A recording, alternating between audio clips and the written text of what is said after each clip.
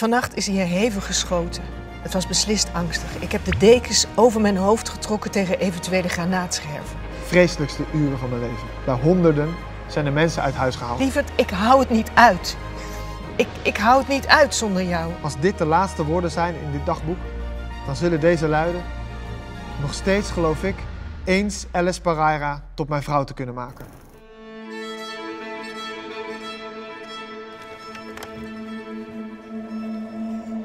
Een liefdesverhaal in tijden van oorlog. 1942. De Joodse Alice en Bernie wonen in Scheveningen, zijn 17 jaar oud en smoorverliefd. De familie van Alice moet twee maanden eerder onderduiken, waardoor de geliefden gescheiden worden.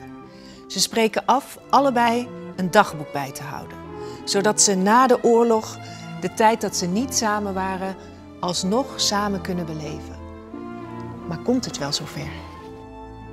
Ik herinner mij de laatste avond van Bernie en mij samen. Hoe we op mijn bed zaten, vaak huilend. Bernie en ik maakten afspraken voor later.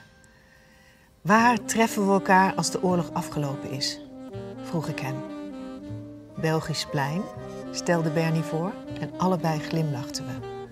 De plek van onze eerste kus. Dat gebeurde in de lente van 1942 op een dinsdagmiddag om vier uur. En iedere keer daarna, als we op die plaats kwamen, en dat was vaak, eiste hij een zoen van mij. Als we niet weten waar we dan wonen, wachten we op elkaar iedere dinsdagmiddag om vier uur op het plein, besloot Bernie nu.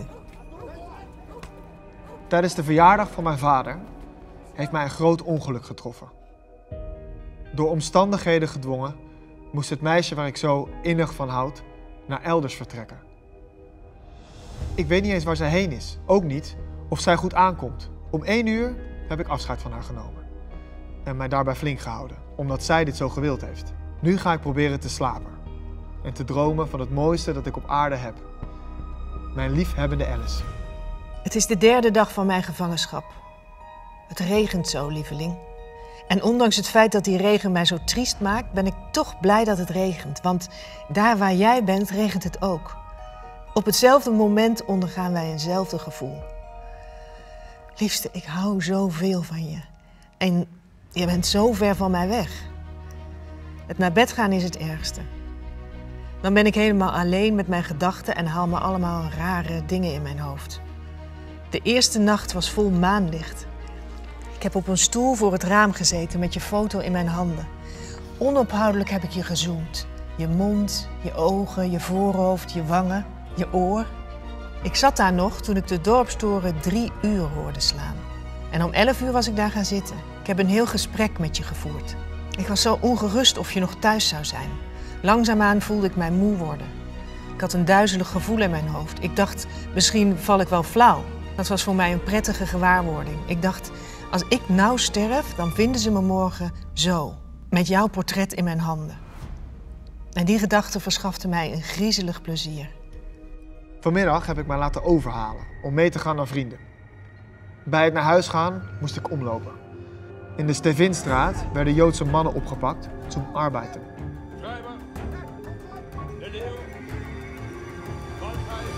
Heel huids ben ik echter thuisgekomen. Nu zit ik hier op mijn kamer te schrijven in mijn dagboek. Met vlak voor mij het portret van Alice Pereira, het meisje waar ik van hou. Dat mij trouw gezworen heeft en dat mij beloofd heeft mijn vrouw zullen worden. Met me trouwen? En dit, dit en dit alleen houdt mij staande en geeft mij kracht mij door deze donkere tijden heen te worstelen. Het geeft mij kracht en laat mij een licht in de toekomst zien. Samen met Alice een lang en gelukkig leven. Vannacht is hier hevig geschoten. Het was beslist angstig. Ik heb de dekens over mijn hoofd getrokken tegen eventuele granaatscherven. Er waren verscheidene luchtgevechten vlak boven ons huis. Lieverd, ik hou het niet uit. Ik, ik hou het niet uit zonder jou. Ik wil terug. Ik wil alles doormaken, maar dan samen met jou. Niet alleen. Niet zo wanhopig, zo hopeloos alleen. Berry, ik heb je zo lief. Wij hebben elkaar zo lief. Waarom moeten jonge mensen die elkaar zo lief hebben als wij dat doen, uit elkaar gerukt worden? Waarom? Het wordt in Den Haag met de dag spannender. En ik geloof dat het voor mij ook zaak is niet langer af te wachten. Smiddags riep een heer die naast een fiets liep mij op bevelende toon toe dat ik bij hem moest komen. Toen ik hem schoorvoetend genaderd was, snauwde hij me toe. Terwijl ik mijn persoonsbewijs aan het zoeken was, brulde hij: Ik ben van de Sicherheitspolizei. Om halb drei melden ze zich bij mij in bureau. Brutaal weg antwoordde ik: Ik ben van Judenraad. Zien Sie mal mijn papieren. Waarop de man mijn bewijs nakeek en met een zieken doorliep. Onmiddellijk na dit voorval moest ik alweer aan mijn meisje denken. Wat zou ze deze ogenblikken in onrust gezeten hebben, wanneer ze dat geweten had.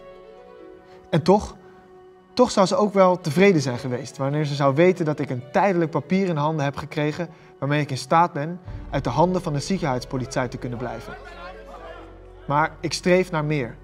Ik wil een vaste aanstelling bij de Joodse Raad. Wat het zogenoemde vrij rondlopen met een bewijs van de Joodse Raad in je zak is een door iedere Jood begeerd ding.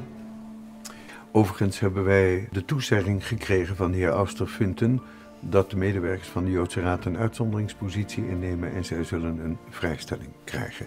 Zijzelf en hun naaste familieleden krijgen een zogenaamde sperre, eh, zodat ze hun werk voor de Joodse Raad kunnen voortzetten. De kans is vrij groot dat ik morgen de beslissing weet. Ik wou dat mijn lief poppetje wist in wat voor grote spanning ik ben. Dag jongetje, dag boy van mij. Ik zit weer muisjestil op de kamer die ik niet mag verlaten. Nog altijd doorknaagt in mij de onzekerheid of ik je wel terug zal vinden. Of je er nog zijn zal. Verbeeld je dat je iets overkomen is. Oh, mijn liefste jongen, mijn engel, dat mag niet. Dat mag absoluut niet. Dat kan toch immers niet? Soms denk ik dat ik maar op de trein naar Den Haag zal stappen en op de een of andere manier erachter zien te komen waar jij bent. En dat ik dan bij je wil blijven tot het einde. Maar dat kan ik mijn ouders niet aandoen, dat mag niet. Het zou hun dood zijn. Trouwens denk ik, als ik redelijk ben, waar zou ik jouw adres vandaan moeten halen? Als jij maar in veiligheid bent. Gisteravond 8 uur zijn de razzia's begonnen. Vreselijkste uren van mijn leven. Bij honderden zijn de mensen uit huis gehaald. Door bewijs van de Joodse Raad zit ik nog thuis. Evenals mijn ouders. Maar mijn toestand, die ik later, als ik mijn meisje ooit nog eens zie, mondeling zou uitleggen, is van dien aard dat elk ogenblik mij hetzelfde gebeuren kan. Wij zijn volkomen overvallen en niemand had dat verwacht. De hele nacht zijn wij op geweest. Als dit de laatste woorden zijn in dit dagboek, dan zullen deze luiden: Nog steeds geloof ik eens Alice Pereira tot mijn vrouw te kunnen maken. Vanmorgen waren hier Duitse soldaten. Ze hebben het huisje omsingeld. God weet wat ze precies wilden. We hebben ons slapende gehouden. En toen zijn ze, zonder te proberen binnen te komen, weer vertrokken. Het was wel even benauwd zo op je nuchtere maag. Het gekke is dat ik niet bang was. En zojuist realiseerde ik mij dat ik, als ik zou weten dat jou zoiets overkomen zou zijn, ik geen rustig moment meer zou hebben. Vanmiddag bij de Joodse Raad gewerkt. Het wordt met de dag gevaarlijker. En mijn wens om spoedig weg te komen is groot. Bij mijn thuiskomst, om half acht, vond ik mijn ouders, allebei huilend. Ze waren beide zenuwachtig, omdat we nog steeds niets gevonden hebben wat op een goede schuilplaats lijkt. We zullen nog even tot morgen afwachten en dan zit er niets anders op dan te beginnen met een behoorlijke uitrusting klaar te maken voor als we naar Polen moeten. Mijn eigen lieveling. Ik heb weer zo'n verscheurend angstgevoel in mij. En dat komt omdat wij gehoord hebben dat Nederland in maart Judenrein moet zijn. En nu ben ik zo bang dat je te lang zult vertrouwen op dat stuk papier dat je tot nu toe vrijgeleide gaf. Want hoe vaak hebben zij niet echt grote verdragen geschonden? Oh, schattie, als je maar op tijd duikt. Als je maar zorgt dat, die, dat je tijdig onder dak komt. Want lieveling, ik wou dat ik het je kon toeschreeuwen. Zo hard dat je het helemaal in Scheveningen hoorde.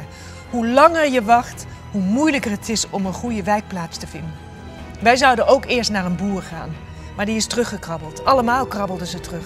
Als het erop aankomt en dan sta je alleen. En je denkt wanhopig, als ik twee maanden eerder was gegaan, als ik er al gezeten had, dan hadden ze mij er niet uit kunnen gooien.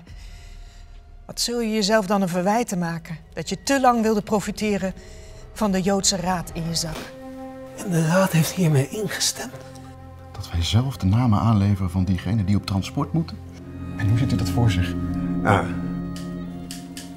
Zijn de absoluut onmisbaren. B. Hen die nodig zijn voor het werk. En C. De misbaren. Vanavond kreeg ik een brief van de Joodse Raad. Ik moet mij, evenals de andere leden van de Joodse Raad, op een kantoor melden. Dit betekent niets anders dan dat het voor de meeste medewerkers van de Joodse Raad spoedig afgelopen is. Ik ben volkomen bereid, dat wil zeggen geestelijk, om naar Polen te gaan. En daarbij, zoals reeds eerder vermeld, volkomen overtuigd nooit meer terug te keren. Hoe optimistisch ik in het begin van deze ellende geweest ben, die begon zodra mijn liefmeisje weg was, zo pessimistisch ben ik nu. Lieveling, ik heb niet veel hoop dat we elkaar nog terug zullen zien. Want men had ons gezegd dat het hier safe is, maar het is hier helemaal niet safe. Ik kijk in de spiegel, even, achterloos. En dan buig ik mij verschrikt voorover. Ben, ben ik dat? Een bleek gezicht, een lijn die scherp van mijn neus naar mijn mond loopt, wallen onder mijn ogen. En die ogen, die ogen, die ogen hebben mij zo doen schrikken. Ze staan zo dof. Zo dof alsof ze nooit meer lachen kunnen. Mijn mond is het enige in mijn gezicht dat hetzelfde is gebleven. En daar ben ik blij om. Want van mijn mond hield jij toch altijd nog het meest. Lieveling, vanavond ga ik weg van hier. Een tijdperk van moeilijkheden en gevaar ligt voor mij.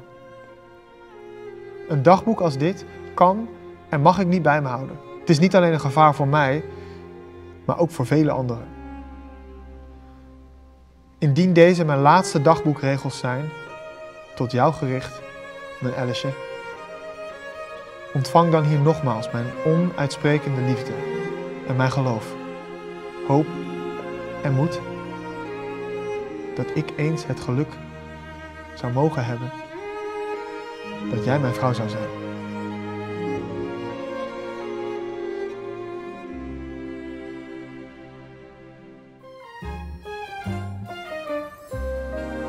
Eind mei 1945. Op de eerste dinsdag dat het mogelijk was, lifte ik van Amsterdam naar Den Haag. Het eerste wat ik zag was het bankje. Het was vier uur 's middags en het was leeg. Daar zat ik dan, vol hoop. Mijn hart klopte als razend. De bomen bloeiden als in 1942. Maar Bernie zat niet naast mij. De dinsdag daarop was hetzelfde verhaal. Mijn hart klopte met net zoveel verwachting, maar de bomen bloeiden niet meer zo mooi. Van elke dinsdag tot elke dinsdag begon mijn hoop steeds minder te worden. Mijn angst steeds groter. Mijn verdriet deed mijn hart krimpen. Het klopte niet meer vol verwachting. Begin augustus hoorde ik dat alle overlevenden, waar ze ook hadden gezeten tijdens de oorlog, inmiddels terug waren in Nederland. Of op zijn minst van zich hadden laten horen. Maar Bernie en zijn ouders waren daar niet bij. Bernie had de oorlog niet overleefd.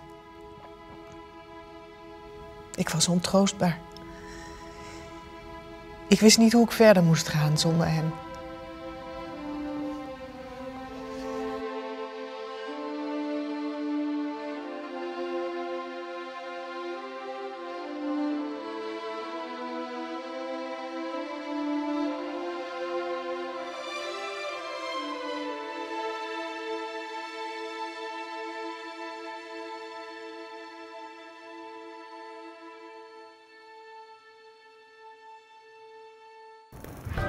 Dames en heren, wij worden op de proef gesteld.